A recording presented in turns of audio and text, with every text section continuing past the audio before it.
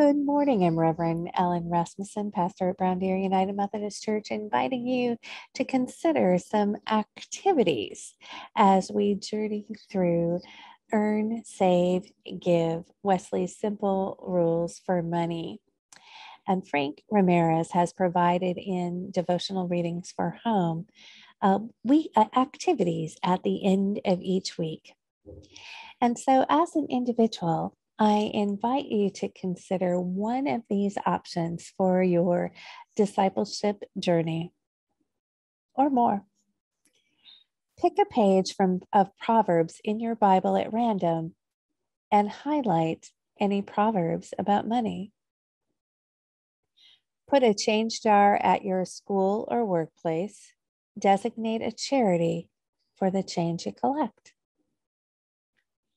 Write an acrostic poem for the word wisdom about money. Review your pattern of giving. How regular is it? Pray the prayer of Agur. Two things I ask of you. Don't keep them from me before I die. Fraud and lies keep far from me. Don't give me either poverty or wealth. Just give me the food I need, or I'll be full and deny you and say, Who is the Lord?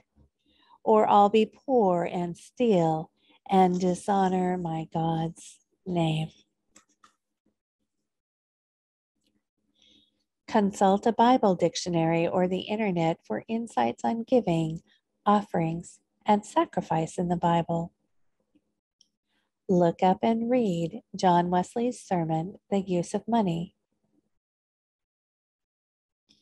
Estimate how many books are in your home. How many books do you have about money? Count how many times money is mentioned in an hour of worship. Compare with the number of times money is mentioned on a sports show or prime time television. And as a family or a small group, dream about what you would do for the church with $2 million create two digital or physical collages representing needs and resources in the world. Talk about ways to bring the two together.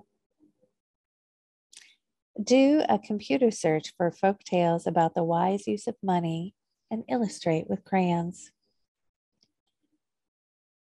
Design new money whose face would be displayed add a motto for Proverbs. I hope you will choose to engage at least one of these activities, and I invite you to share them with your friends.